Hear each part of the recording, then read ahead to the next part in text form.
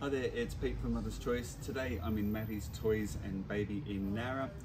Just going to take you through our Mother's Choice KIN AP convertible booster seat. Now a convertible booster seat uses the inbuilt harness from approximately um, this age, which is roughly your, six months up to a year old, as long as the child's shoulders much reach this line. So we're using the harness from here up to here and then from this line to this line when the headrest is fully extended we're going to be using the car seat belt. Now this convertible booster seat is a narrow seat it's only 45 centimeters across and it comes with a couple of cup holders as well just to give that little bit of independence for your growing child. Fitted with mother's choice wicking fabric so it's just going to draw moisture away from your growing child keeping them more comfortable it does have a bit of a seat recline, but it just will find the natural position of the car seat. So it will have a bit of a recline.